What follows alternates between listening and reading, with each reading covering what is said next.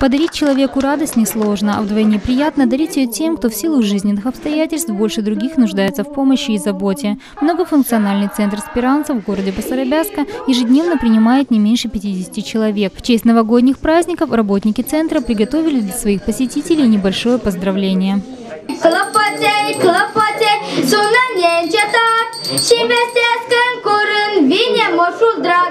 Drag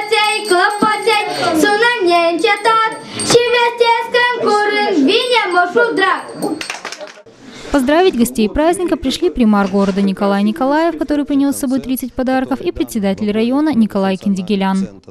Мы видим радость, улыбку на лицах людей преклонного возраста, детей, как дети искренне поздравляли э, взрослых.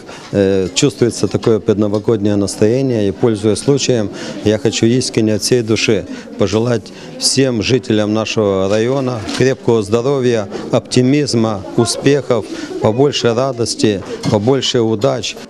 В уходящем году всем хочется надеяться на лучшее и ждать от жизни добрых перемен.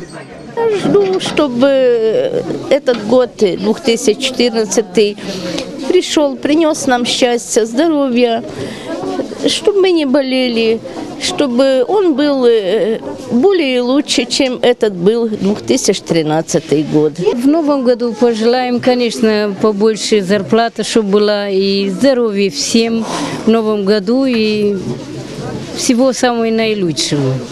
год, как и, и другие были. Ну, немножко, может быть, хуже. И, и я с удовольствием хожу сюда и, и радуюсь вот всем этим.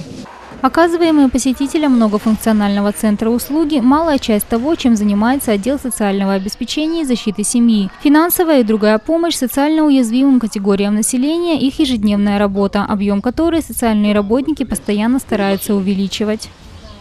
По задачах на будущий год планируем значит, еще 10 единиц персонального ассистента, еще 2 единицы патронажного ассистента. Думаем открыть мобильную группу, которая будет работать с инвалидами на дому.